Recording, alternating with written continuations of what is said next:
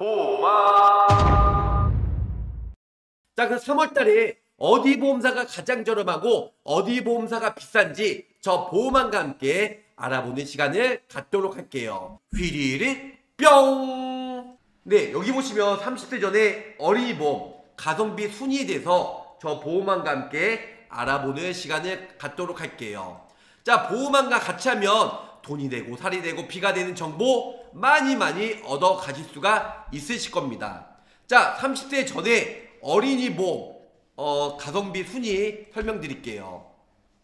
자, 자녀 보험이에요. 20년나 100세 만기로 자녀 보험 50% 무해지 환급형 50%로 해서 비교를 해보니까 일단은 암 같은 경우 천만원 기준일 때 10세 남자와 10세 여자아이 기준으로 암진단금 천만원일 때 역시 하나 손해보험이 가장 저렴해요. 그래서 저 보험왕이 3대 진단비는 어디로 해준다? 하나로 해준다.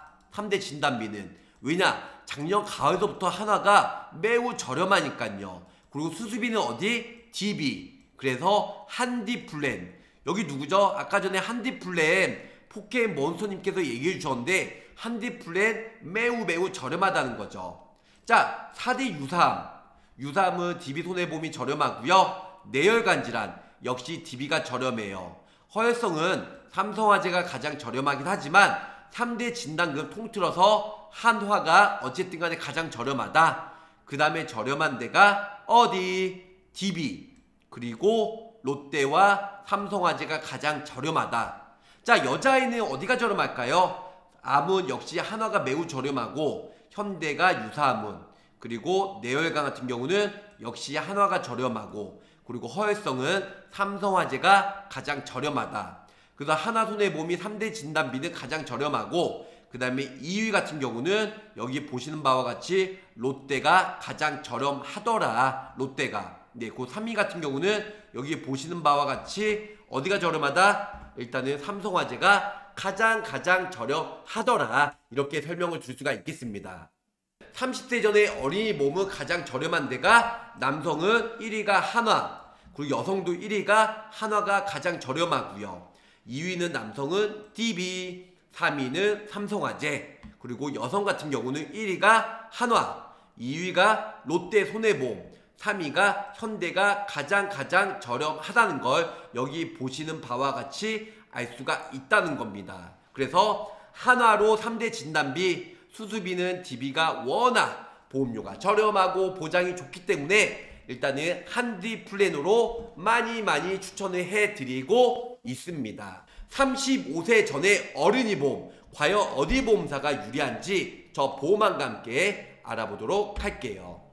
자 경제활동기 3, 왕성한 여기 보시면 30세에서 40, 30, 40세까지 아 근데 어린이 보험은 35세까지 가입이 가능한데요. 이러한 부분들은 어른이 보험 일단은 예전에는 30세까지만 가입이 가능했지만 지금은 35세까지 가입이 가능한 어린이 보험이 몇 군데가 나왔어요. 저 보험왕 어, 조심스럽게 얘기를 해보면 일단은 어린이 보험은 35세까지 몇 군데가 계속 늘어나갈 예정입니다. 자 어린이 보험 35세까지 일단 보장 한도가 높아요. 하지만 성인 보험은 보장 한도가 낮다는 거죠. 납입 면제는 아까 말씀드렸잖아요. 어린이 몸은 암, 그리고 뇌혈관, 그리고 허혈성, 그 상해 질병 후장의 50%의 납입 면제.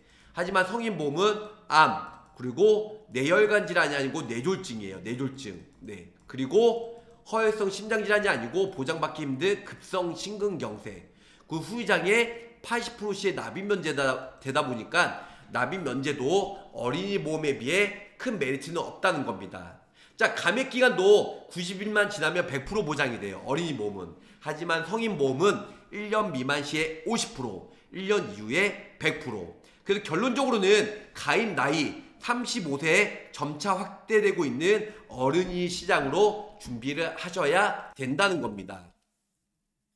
자, 베스님 말나 막판에 서두르면 꼭 뭔가 삐끗하더라고요. 월날 연락 드리겠습니다. 네, 원래 연락 월날 연락 주시면 저 보험왕 가성비 좋게 해서 준비를 해드릴게요.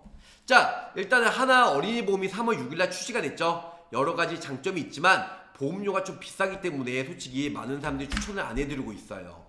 자, 35세까지 가입이 가능한 끝판왕 어린이 보험 35세까지 어디 보험사가 가장 저렴하고 좋은지 저 보험왕과 함께 지금 낱낱이 파헤쳐 볼게요.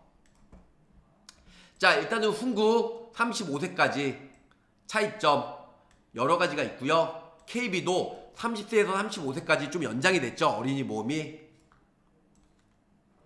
납입 면제 사연이 이렇게 많습니다.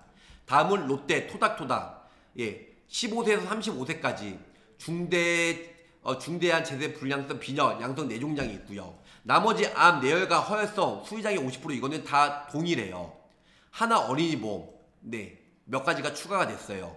하지만 내돈내산 어린이 보험은 어린이 보험이 아니죠. 30세에서 40세 성인 보험이에요. 그래서 3월 말까지만 판매가 되고 없어질 예정이다. 네. 암 뇌혈과 허혈성 납입면제 아니에요. 암, 뇌졸중, 급성 심근경색, 후유장애 50%가 아니고 80%. 질병 후유장애 또 빠져 있죠. 그래서 이런 부분들은 솔직히 삼성화재가 메리트는 없다. 삼성화재의 장점은 90일만 지나면 100% 보장이 되는 게 장점이고요. 또 하나 일단은 60대 이상은 어 지금 어 암 뇌심 3대 진단비가 60대 이후로는 2배 이상 예, 2배로 보장이 되는 게 큰 메리트가 있어요. 자, 이거 말고 암, 유사암, 뇌혈관, 심혈관, 질병 상해, 후유장애 이러한 부분들이 각 회사마다 조금씩 틀린데요. 저 보험왕이 정리해봤어요.